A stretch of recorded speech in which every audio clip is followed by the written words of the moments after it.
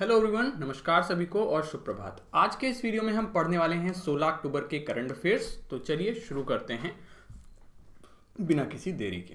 पहला सवाल हमारा है एज यूजुअल हम डे के बारे में पूछते हैं तो वर्ल्ड एनेस्थीशिया डे कब मनाया जाता है? ऑप्शन हैं आपके अक्टूबर 13 अक्टूबर 14 अक्टूबर 15 या अक्टूबर 16 तो जवाब है इस सवाल का अक्टूबर 16 अक्टूबर 16 को वर्ल्ड एनेस्थीशिया डे मनाया जाता है। ठीक है? अगर आप लोगों को इस वीडियो का पीडीएफ चाहिए तो उसके लिए आपको टेलीग्राम चैनल डाउनलोड करना होगा। टेलीग्राम चैनल ज्वाइन करना होगा, जिसका लिंक डिस्क्रिप्शन में और कमेंट सेक्शन में दिया गया है। आप टेलीग्राम पर जाकर सीधे सर्च भी कर सकते हैं at the rate Aman Trivedi तो आपको वहाँ से भी मेरा चैनल मिल जाएगा, और इसके अलावा आप लिंक पे क्लिक करके भी ज्वाइन कर सकते हैं। आप इंस्टाग्राम पर भी आप मुझे फॉलो कर सकते हैं इंस्टाग्राम पर आप सर्च कर सकते हैं at the rate Aman Trivedi double I end में लगाएँगे तो आप इंस्टाग्राम पे आपको मेरी प्रोफ़ाइल मिल जाएगी, और वहाँ से भी आप मुझे फॉलो कर सकते हैं। चलिए तो हमने पढ़ा डे के बारे में, अब हम इसके सारी चीज़ों के बारे में जान लेते हैं। देखिए अक्टूबर 10 हमने पढ़ा था world mental health day October 10 को होता है वर्ल्ड मेंटल हेल्थ डे 11 था international day of girl child 12 है वर्ल्ड ऑर्थराइटिस डे अक्टूबर 13 है वर्ल्ड कैलेमिटी कंट्रोल डे या UN international day for natural disaster reduction October 14 है वर्ल्ड स्टैंडर्ड डे या फिर इंटरनेशनल ई वेस्ट डे। ठीक है, दो दिन हमने कल पढ़े थे। इसके अलावा अक्टूबर 15 की बात करेंगे तो वो है आपका pregnancy and infant loss remembrance day, global hand washing day या फिर वर्ल्ड स्टूडेंट्स डे भी आज है और international day of rural women भी आज है। ठीक है, यानी कि 15 अक्टूबर को था। और अक्टूबर 16 को वर्ल्ड फ़ूड डे और वर्ल्ड एनेस्थीशिया डे और वर्ल्ड स्पाइन डे है।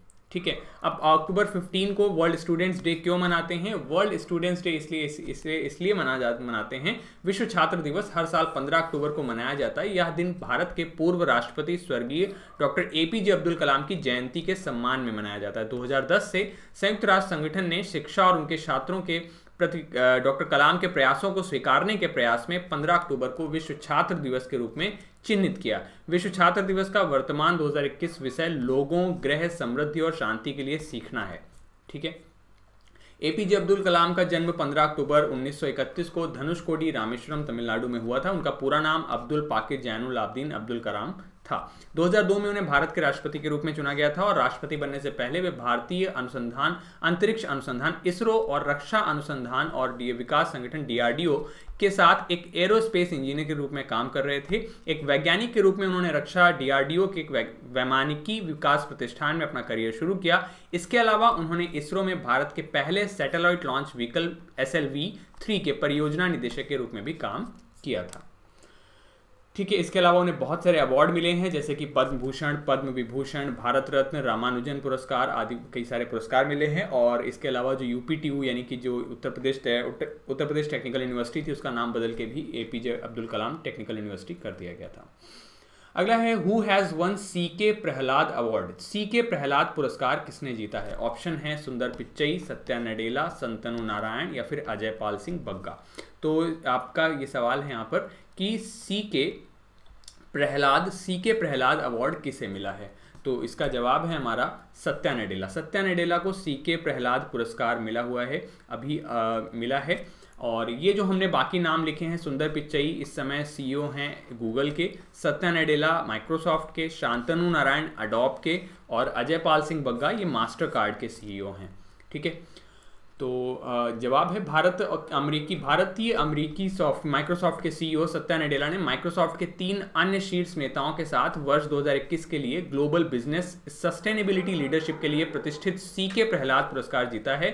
माइक्रोसॉफ्ट के चार शीर्ष नेताओं को 2030 तक माइक्रोसॉफ्ट के कार्बन नकारात्मक कंपनी में बदलने और 2050 तक इसके सभी ऐतिहासिक उत्सर्जन को हटाने के लिए उनके सहयोग के नेतृत्व के लिए पुरस्कार मिला यानी कि उन्होंने जो कार्बन लेस कंपनी बनाने की बात कही है 2030 तक और 2050 तक उसके सभी तरीके के उत्सर्जन को खत्म करने की बात की है। इस इस वजह से उन्हें पुरस्कार मिला है। नडेला के अलावा माइक्रोसॉफ्ट के अध्यक्ष और उपाध्यक्ष ब्रैड स्मिथ, मुख्य वित्तीय अधिकारी एमडी हुड और मुख्य पर्यावरण अधिकारी लुकास जोपा ने ग्लोबल बिज़नेस सस्टेनेबिलिटी लीडरशिप पुरस्कार साझा किया है। यह पुरस्कार 2010 में कॉरपोरेट इको फोरम द्वारा इसे, इसके संस्थापक सलाहकार बोर्ड के सदस्य सी के प्रहलाद के नाम पे बनाया गया था। यह पुरस्कार वैश्वीकरण की दुनिया में स्थिरता, नवाचार और दीर्घकालिक व्यवसाय सफलता के बीच मौलिक संबंध का उदाहरण देने के लिए विजेताओं को मान्यता देता है। इसके अलावा ये और हमारी एक न्यूज़ है कि UNHRC UNHRC human rights United Nations human rights commission Bharat संयुक्त राष्ट्र मानवाधिकार परिषद के लिए रिकॉर्ड छठवें कार्यकाल के लिए भारी बहुमत के साथ फिर से निर्वाचित हुआ है। भारत को 14 अक्टूबर 2021 को संयुक्त राष्ट्र मानवाधिकार परिषद के लिए 2022 से 24 के कार्यकाल के लिए महासभा में भारी बहुमत के साथ फिर से चुना गया। संयुक्त राष्ट्र निकाय में रिकॉर्ड छठे कार्यकाल के लिए भारत के फिर से चुनाव को नई दिल्ली के दूत ने बहुलवाद, लोकतंत्र और संविधान में निहित मौलिक अधिकारों में देश की मज़बूत जड़ों के मज़बूत समर्थन के रूप में वर्णित किया। अगला सवाल है हमारा, नागपुर का कौन सा बच्चा भारत की नवीनतम महिला ग्रैंड स्लैम ग्रैंड मास्टर बन गया? तो ग्रैंड मास्टर हम कहते हैं जो चेस में विजेता बनता है। प्रत्युषा बोटा, वी वार्षिनी, दिव्या देशमुख या सुब्रमन सुब्बारमन विजयलक्ष्मी। तो इनमें से कौन सा? चाइल्ड प्रोडिजी का मतलब होता है ऐसा बच्चा जो बचपन में बहुत ही विलक्षण प्रतिभा का धनी बच्चा हो। तो जैसे कि ये बच्चा। तो इनमें से कौन इन्होंने वर्ल्ड ग्रैंड मास्टर बन गया है? तो इसका नाम है India's twenty first women grandmaster हो गई हैं Divya Deshmukh. Divya Deshmukh is the right answer बाकी जो हैं, ये लोग भी पहले ग्रैंड मास्टर रह चुके हैं। तो दिव्या देशमुख भारत की 21वीं वर्ल्ड ग्रैंड मास्टर बन गई हैं। फ़र्स्ट सैटरडे ग्रैंड मास्टर में जीत हुई है। दिव्या देशमुख हंगरी के बुडापोस्ट में पहले शनिवार ग्रैंड मास्टर में अपना दूसरा अंतर्राष्ट्रीय मास्टर हासिल करने के बाद भारत की इक्कीसवीं महिला ग्रैंड मास्टर बन गई हैं। तो भारत के लोग चेस में हमेशा से छाए रहे हैं। अगला सवाल है which team has won IPL 2021 IPL के ऊपर मैं अलग से पूरा एक वीडियो बना दूँगा डिटेल जिसमें आईपीएल से रिलेटेड सारे क्वेश्चंस आपको मिल जाएँगे। तो आईपीएल 2021 किस टीम ने जीता है? तो भैया, इसका जवाब सबको मालूम है और इसका आंसर हो जाएगा Chennai super kings. Chennai super kings ने आईपीएल 2021 जीत लिया है। ठीक है? आईपीएल 2021 विनर है, चेन्नई सुपर किंग्स। धोनी का ये तीन मैच था as a captain as a captain ये तीन सौवा मैच था। पर्पल कैप होल्डर हुए हमारे हर्षल पटेल, जिन्होंने सबसे ज़्यादा विकेट्स लिए, आरसीबी के लिए खेलते हैं, और ऑरेंज कैप होल्डर हुए मोस्ट रन जो बनाते हैं, ऋतुराज गायकवाड़। ठीक है? ये चेन्नई के लिए खेलते हैं। निम्नलिखित में से किस कंपनी के शीर्षक प्रायोजन के लिए अखिल भारतीय शतरंज महासंघ के साथ एक समझौते पर हस्ताक्षर किए हैं? यानी कि जो all India chess federation for title इसके टाइटल स्पॉन्सर के रूप में किसने साइन किया है? Byju's mobile premier league Coca Cola या हीरो मोटोकॉप तो इसका जवाब है mobile premier league mobile premier league ने ऑल इंडिया चेस फेडरेशन के साथ में टाइटल स्पॉन्सरशिप के लिए साइन किया है। Which of the following state has announced a scheme to melt temple jewellery मंदिरों के आभूषणों को पिघलाने के लिए किस राज्य ने योजना शुरू की है? केरला तमिलनाडु कर्नाटका या आंध्र प्रदेश? तो इसका जवाब है आपका तमिलनाडु। तमिलनाडु के चीफ मिनिस्टर हैं M K Stalin. M K Stalin ने इस, इस स्कीम को इस योजना का को बताया है, वहाँ की कैपिटल है चेन्नई और आर एन रवि वहाँ के गवर्नर हैं। के, केरला की राजधानी है तिरुवनंतपुरम, पिनराई विजयन वहाँ के चीफ मिनिस्टर हैं मोहम्मद आरिफ खान वहाँ के गवर्नर हैं। कर्नाटका की राजधानी है बैंगलोर बसवाराज बोम्मई वहाँ के चीफ मिनिस्टर हैं और थावरचंद गहलोत वहाँ के गवर्नर हैं। आंध्र प्रदेश की राजधानी है अमरावती और क्या, इसके सीएम हैं वाई एस जगनमोहन रेड्डी और गवर्नर हैं विश्वभूषण हरिचंदन। तमिलनाडु ने के मुख्यमंत्री ने मंदिरों से संबंधित सोने के आभूषणों को सोने की सलाखों में पिघलाने की योजना शुरू की है। तमिलनाडु के मुख्यमंत्री एम के स्टालिन ने मंदिरों में प्रसाद के रूप में भक्तों से प्राप्त सोने को 24 कैरेट सोने की बिस्किट्स में पिघलाने की योजना शुरू की है। स्वर्ण मुद्रीकरण योजना तीन प्रसिद्ध मंदिरों, समयपुरम थिरुवर काडू और इरुक्नुडी में शुरू की गई है। अगला सवाल है who is the writer of the nutmeg's curse parables for a planet in crisis the nutmeg's curse parables for a planet in crisis के लेखक कौन हैं? ऑप्शंस हैं रजनीश कुमार अमिताभ घोष सुरेश रैना या फिर आ, यहाँ पर आपका साइना नेहवाल ऑप्शन है। तो इसका आंसर हो जाएगा आपका अमिताभ घोष। अमिताभ घोष ने ये किताब लिखी है द नेटमैक्स कर्स और parables for a planet in crisis और रजनीश कुमार की हमने किताब पढ़ी थी अभी हाल में ही द कस्टोडियन ऑफ़ ट्रस्ट ये एसबीआई के फॉर्मर चेयरमैन भी हैं। Custodian of trust a banker's memoir Suresh Raina की किताब ऑटोबायोग्राफी है, उसका नाम है बिलीव और साइना नेवाल की ऑटोबायोग्राफी है, जिसका नाम है प्लेइंग टू विन ठीक है, अमिताभ घोष कौन है? अमिताभ घोष एक भारतीय लेखक हैं, जिन्हें फिफ्टी ए, फिफ्टी फोर्थ जनानी पथ अवार्ड, यानी 2018 का जनानी पथ अवार्ड भी मिला था। वो भारत का सर्वोच्च साहित्यिक सम्मान है, जो अंग्रेज़ी उपन्यास में अपने काम के लिए जाना जाता है। घोष के महत्वाकांक्षी उपन्यास, राष्ट्रीय और व्यक्तिगत पहचान, विशेष रूप से भारत, दक्षिण पूर्व एशिया के लोगों की प्रकृति की जाँच के लिए जटिल कथा रणनीतियों का उपयोग करते हैं। 2019 जो आखिरी जनानी पथ अवार्ड अनाउंस हुए थे, वो 2019 में हुए थे और उसके विनर हैं अकिथम अच्युत अकितम अच्युतम नम्भुतरी। ठीक है, मैं तो नहीं प्रोनाउंस कर पा रहा हूँ क्योंकि नाम ये मलयाली में है और मलयालम, मलयाली राइटर हैं ये, ठीक है? आप नाम ध्यान रखिएगा। अगला है who is the minister of information and broadcasting information and broadcasting minister कौन है? आर के सिंह, हरदीप पुरी ज्योतिरादित्य सिंधिया या फिर अनुराग ठाकुर? तो जवाब है हमारा श्री अनुराग ठाकुर। श्री अनुराग ठाकुर जो है ministry of information and broadcaster minister हैं। ज्योतिरादित्य सिंधिया उड्डयन मंत्री हैं, हरदीप पुरी पेट्रोलियम और प्राकृतिक गैस मंत्री हैं और आर के सिंह आपके ऊर्जा मंत्री हैं। ठीक है, हमने ये क्यों पढ़ा? क्योंकि अनुराग ठाकुर ने माई पार्किंग्स ऐप लॉन्च किया है एक, जो कि दिल्ली में पार्किंग स्लॉट के बारे में बताएगा। तो अनुराग ठाकुर ने दिल्ली में ऑनलाइन पार्किंग स्लॉट बुक करने के लिए लोगों के लिए माई पार्किंग्स ऐप लॉन्च किया है।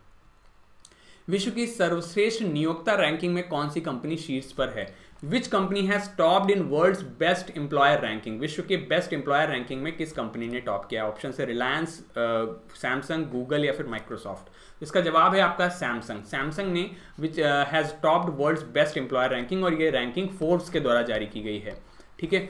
तो विश्व में अगर आप बात करेंगे तो सैमसंग पहले नंबर पे है सेकंड नंबर पे आईबीएम है। सैमसंग आपकी साउथ कोरिया बेस्ड कंपनी है आईबीएम आपकी यूनाइटेड स्टेट्स बेस्ड कंपनी है थर्ड नंबर पे माइक्रोसॉफ्ट है यूनाइटेड स्टेट्स कंपनी है और फोर्थ नंबर पे अमेजॉन है यूनाइटेड स्टेट्स बेस्ड कंपनी है। भारत की अगर बात करें तो भारत में टॉप किया है रिलायंस इंडस्ट्रीज़ ने, इसकी रैंकिंग है फिफ्टी सेकंड उसके बाद आईसीआईसीआई बैंक है सिक्सटी फ़र्स्ट बैंक का कोई इंप्लॉई ये वीडियो देख रहा होगा तो उससे शौक लग सकता है कि आई, भारत में अगर सेकंड नंबर पे हम बात करें एम्प्लॉयर की तो वो आई बैंक है। थर्ड नंबर पे H bank H D S C L अगर कोई आई बैंक का एम्प्लॉई हो तो कमेंट ज़रूर करिएगा। एस सी टेक्नोलॉजी के में रैंक है ninetieth S B I one hundred nineteen S B I भी दुनिया में, अगर हम भारत की बात करें तो तीसरे, चौथे, पाँचवें, छठे। सिक्स नंबर पे है एज अ एम्प्लॉयर और Larsen and turbo L N T one twenty seven Bajaj two hundred fifteen Axis bank two fifty four Indian bank two hundred three hundred fourteen O N G C four zero four ये world ranking है, और अगर भारत में बात करें तो ये top ten हो जाती है हमारी। ठीक है? एस बी आई के पी ओ अगर कोई कमेंट वीडियो देख रहा होगा तो वो कहेगा अच्छा हम विश्व दुनिया में छठे नंबर पर एज एम्प्लॉयर में हैं। Who is the MD of Axis bank Axis bank का एमडी कौन है? दिनेश कुमार खरा, अमिताभ चौधरी, संदीप बख्शी या फिर उदय कोटक? तो एक्सिस बैंक के एमडी का नाम है आपका अमिताभ चौधरी। और इन्हें आरबीआई के द्वारा दूसरा टर्म प्रोसीड करने की अनुमति मिली है। दिनेश कुमार खरा, हम कई बार पढ़ चुके हैं एसबीआई के चेयरमैन है इस समय, Sandeep Bakhshi MD and CEO of ICICI bank Uday Kotak MD and CEO of Kotak Mahindra bank. Amitabh Chaudhry जो हैं रिज़र्व बैंक ने थर्सडे को अप्रूव किया है इनका रीअपॉइंटमेंट अमिताभ चौधरी का as a managing director of private sector Axis bank for a period of three years ठीक है? एक्सिस बैंक एक नियामक फाइलिंग में कहा कि विस्तारित तीन साल की अवधि एक जनवरी 2022 से प्रभावी रहेगी। भारतीय रिज़र्व बैंक 14 अक्टूबर 2021 को अपने पत्र के माध्यम से इनकी नियुक्ति को मंजूरी दी है। इसके अलावा भारतीय बैंक संघ का अध्यक्ष किसे चुना गया है? Who has been elected as the new chairman of Indian Banks' Association option हैं आपके ए के गोयल गोविंद जैन राजकिरण राय जी या फिर राकेश शर्मा तो इसका जवाब है हमारा ए के गोयल ए के गोयल को भारतीय बैंक संघ का अध्यक्ष चुना गया है। ठीक है? और यूको बैंक यूको बैंक के एमडी जो हैं ए के गोयल को आईबीए का नया अध्यक्ष चुना गया है इंडियन बैंक एसोसिएशन का। इसके पूर्व अध्यक्ष थे राजकिरण राय जी, जो कि यूनियन बैंक के सीईओ और एमडी थे। उपाध्यक्ष हैं इसके दिनेश कुमार खरा एसबीआई के अध्यक्ष अध्यक्ष हैं, ये हमने अभी पढ़ा। एल वी प्रभाकर भी उपाध्यक्ष चुने गए हैं डेप्यूटी चेयरमैन चुने गए हैं, ये केनरा बैंक के एमडी हैं और राकेश शर्मा आईडीबीआई बैंक के एमडी हैं, ये ये तीन के तीनों डेप्यूटी चेयरमैन चुने गए हैं। फॉर्मर का नाम है राजकिरण राय, जो कि यूनियन बैंक के हैं और यूको बैंक के एमडी हो गए हैं एमडी बन गए हैं आईबीआई के अध्यक्ष। इसके अलावा इंडस बैंक के न्यू चीफ फाइनेंशियल ऑफिसर भी बनाए गए हैं, जो कि जिनका नाम है गोविंद जैन और इंडस बैंक के एमडी और सीईओ का नाम है सुमंत कथपालिया 1994 में ये बैंक बनी थी फाउंडर है एस पी हिंदुजा और इसके new CFO chief financial officer बने हैं गोविंद जैन फॉर्मर सीएफओ थे एस वी जारेगांवकर ठीक है? F V Jaregaonkar former CFO थे और अभी बने हैं गोविंद जैन इसके अलावा सवाल है, अंतर्राष्ट्रीय क्रिकेट परिषद आईसीसी ने पुरुषों के टी विश्व कप के दौरान मानसिक स्वास्थ्य और बच्चों और किशोरों की भलाई के बारे में जागरूकता बढ़ाने के लिए निम्नलिखित में से किसके साथ भागीदारी की है? ऑप्शन है यूएनडीपी यूएनईपी यूनिसेफ या यूनेस्को तो मेंटल अवेयरनेस फैलाने के लिए आईसी ने आईसीसी ने किसके साथ में भागीदारी की है? तो जवाब है यूनिसेफ यूनिसेफ के साथ में आईसीसी ने करार साइन किया है फॉर मेंटल अवेयरनेस यूएनडीपी क्या है? यूनाइटेड नेशंस डेवलपमेंट प्रोग्राम विकास कार्यक्रम। यूएन ईपी uh, क्या है? यूनाइटेड नेशंस एनवायरमेंट प्रोग्राम और इसका हेडक्वार्टर्स है नैरोबी केन्या में। यूनिसेफ है, यूनाइटेड नेशंस चिल्ड्रंस फंड, इसका हेडक्वार्टर है न्यूयॉर्क में, और यूनेस्को है, United Nations educational, scientific and cultural organisation, और इसका हेडक्वार्टर है पेरिस, फ्रांस में। इसके अलावा मणिपुर के चीफ मिनिस्टर ने chief minister's health for all एक स्कीम लॉन्च की है। मणिपुर के चीफ मिनिस्टर हैं बीरेन्द्र सिंह, कैपिटल है इम्फाल, और गवर्नर है ला गणेशन। ठीक है?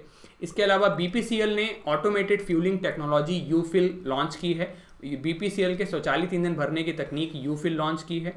इसके अलावा भारत ने कोकिंग कोल कोकिंग कोल बोलते हैं, ऐसा कोल जो मेटलर्जी के काम में आता है मेटलर्जिक कोल के क्षेत्र में सहयोग के लिए रूस के साथ समझौता ज्ञापन पर हस्ताक्षर किए हैं एमओयू साइन किया है और भारत के इस्पात मंत्री का नाम है रामचंद्र प्रसाद सिंह, ध्यान रखेंगे।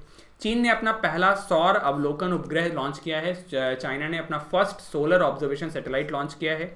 इसके अलावा India to set up 500 multi modal cargo terminals by 2024 and 25 under Gati Shakti national master plan गति शक्ति नेशनल मास्टर प्लान के तहत Bharat 500 multi modal cargo terminal स्थापित करने वाला है 2024-25 तक।